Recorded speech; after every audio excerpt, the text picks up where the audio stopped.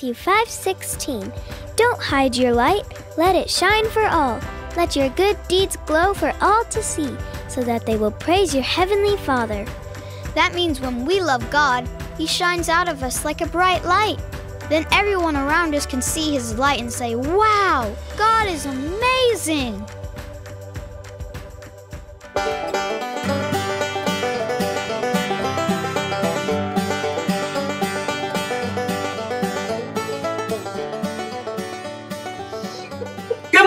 Kids! Welcome back for the third day of VBS. I'm Pastor Matthew, and we're going to have a fun time today in our next skit called Shine for Jesus. And today, the four of us that are going to be a part of it is me, of course, Miss Lisa, Olivia, and Miss Judy.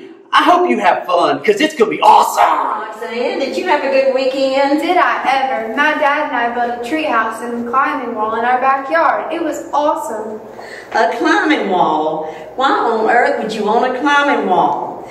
A treehouse I can understand. But a climbing wall? Isn't that dangerous? But that's why it's fun. I like pretending I'm a secret agent trying to recover a stolen artifact from the ancient tombs of Egypt. Okay. Hi, Ellie and Roxanne. What are you guys talking about? Oh, I was just telling Ellie about the cool stuff my dad and I built in our backyard. What did you do this weekend? Well, my parents and I collected food from our neighbors and took it down to the food pantry. I love meeting new people and I also love helping, so it was great. Wow. I wish I was as outgoing as you. Meeting new people is scary for me. I could never, ever collect food from my neighbors. Hey guys, y'all want to know what I did for my weekend? My teacher from church took me to the nursing home so I could tell them jokes. And they laughed and laughed. It was so much fun, and it was great seeing them feel better when I told them that. Oh man, we hoped. Well, Anna was telling us about collecting items for a food pantry. That doesn't seem like fun to me, or going to a nursing home. I'm just not that interested in those things. Me either. I wish I could do something to help others like you two. But I'd just rather stay at home and work on my art projects. Well, that sounds like a way to help others. What do you mean? Well, you could make cards for people in the hospital to cheer them up. Or you can make thank you cards for the volunteers and take it to the church to thank them for the work they're doing. Thanks, guys. I never thought about how God could use my talents to help others. But those are all great ideas. Well, then what about me? Making cards sounds boring. Hmm. Well, what about teaching other kids how to skateboard? Yeah, yeah, yeah, yeah, yeah, yeah. And then you can tell them about the skateboard ministry we have here at the church. What an awesome way to invite people to God. I agree. Whenever we use our unique talents and interests to serve others, then we let our light shine in believers.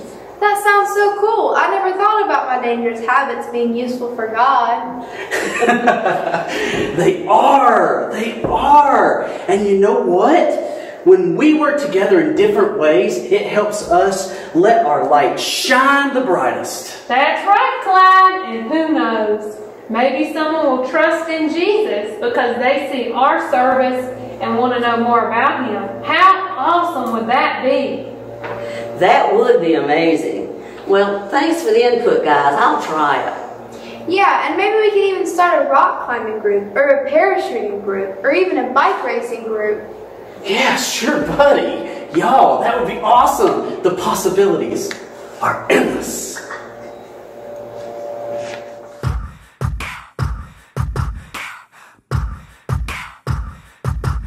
Hallelujah, hallelujah, hallelujah,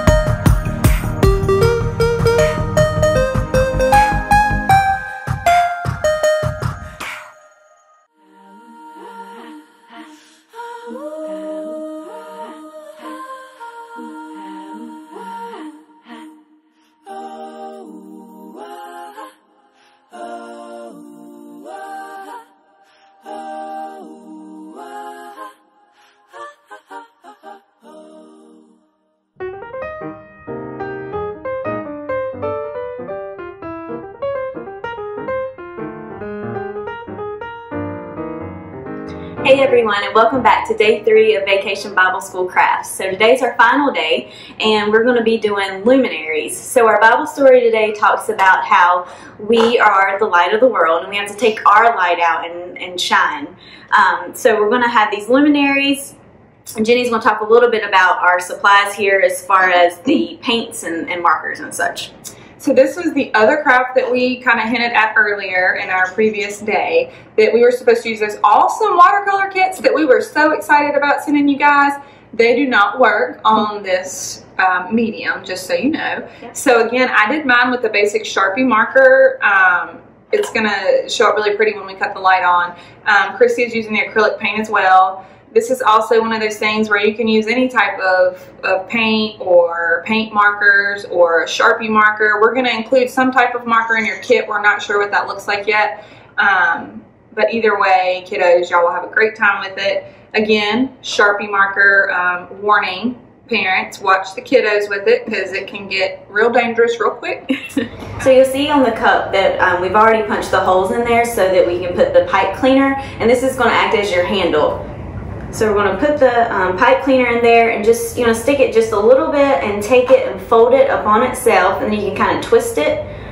Like I said, it's just going to make it a handle for the luminary. And then you want to do the other side as well.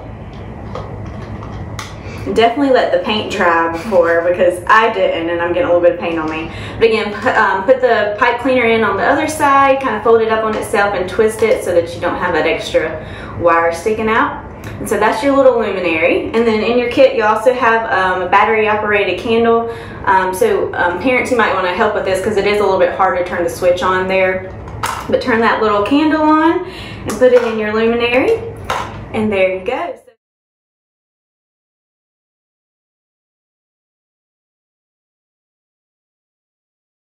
All right, kids. So this is just a reminder that um, to never be scared. Um, Jesus lives in us. Jesus is the light of the world. He lives inside of us.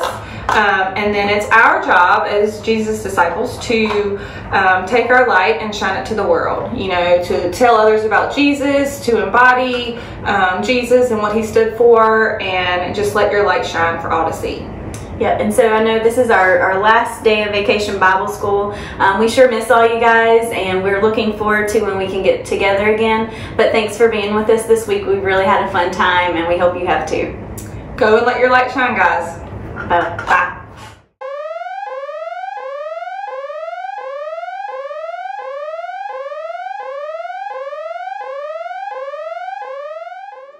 oh,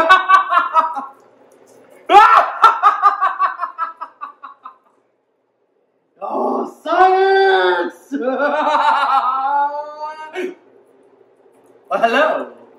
Welcome back for the last day of VBS.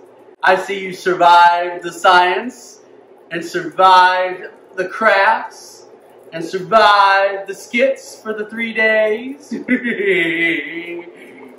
now let's get back to science and having fun. Let's get to today's science project, shall we?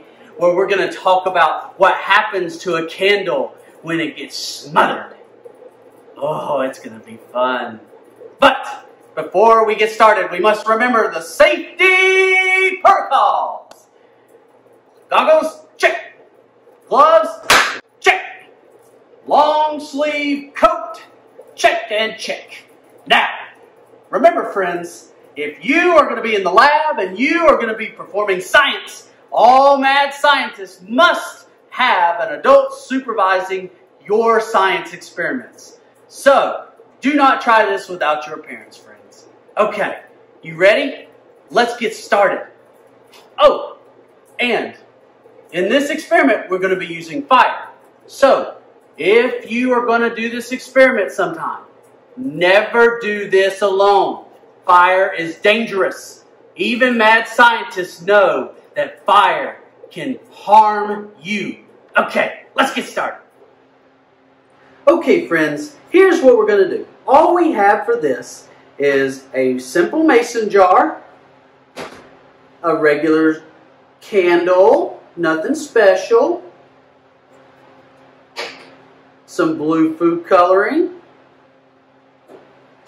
a lighter, a bowl that's clear so you can see through it.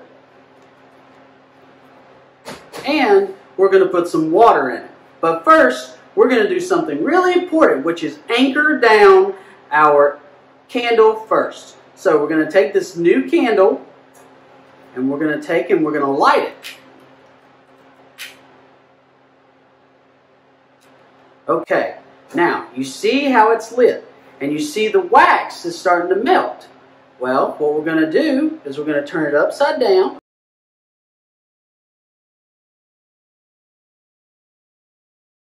See how the candle wax is falling? Look at that.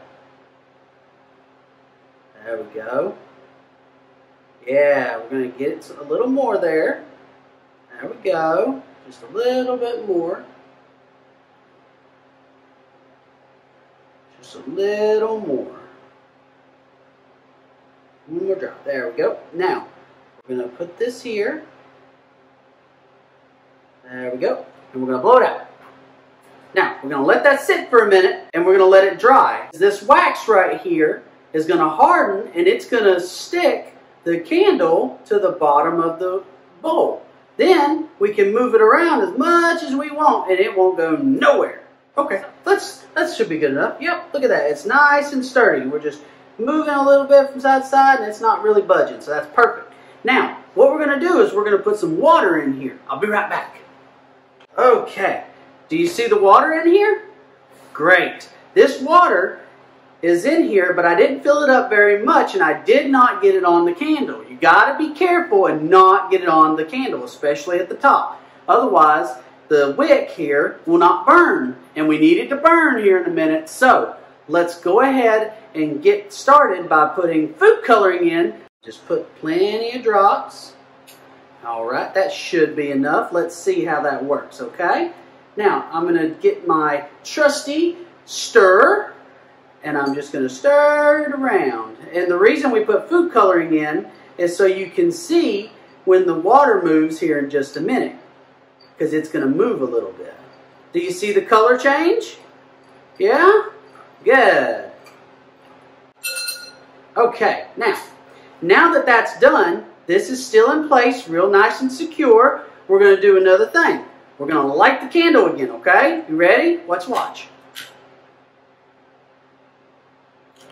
All right, we're going to let it get nice and bright, get it nice and big. You want the flame up real high so you can see it well, okay? Okay, now, what we're going to do is we're going to take this jar and we're going to put it over top and you're going to watch what happens to it, okay? You ready? Here we go.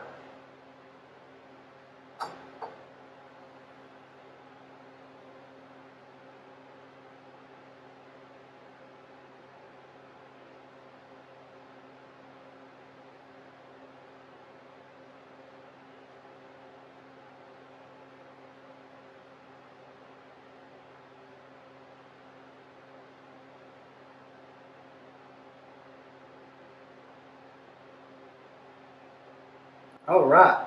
Do you see how the water level went down and the candle was out?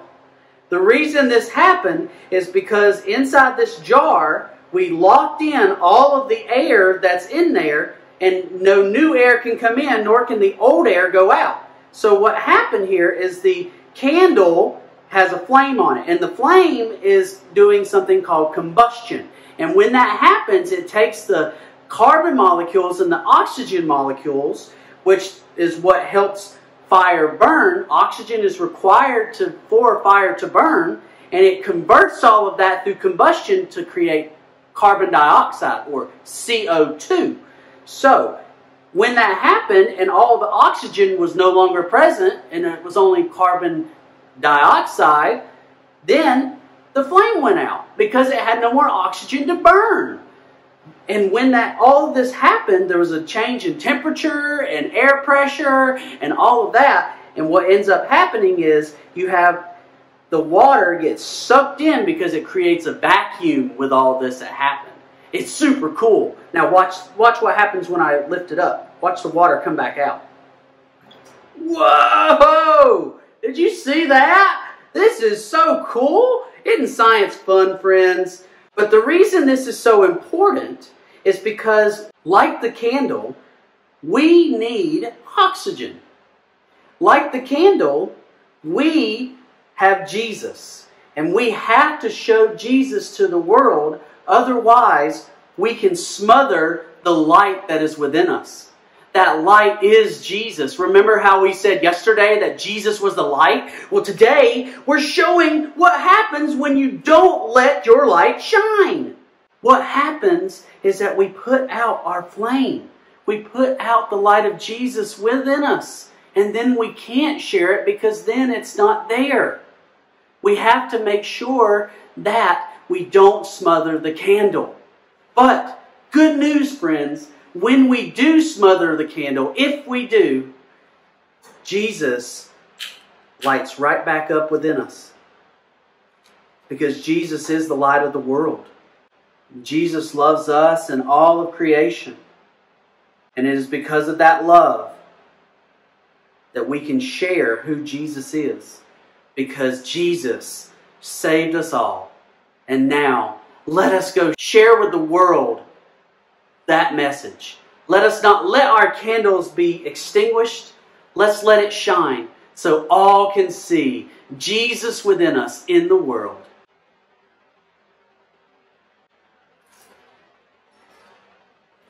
I hope you've had fun learning about science and Jesus and the Bible. I hope that you've had fun these past three days. Now, if you'll excuse me, I have science to attend to. It's gonna be fun. It's gonna be great. You ain't ready for next time. Maybe, just maybe, I'll see you again soon.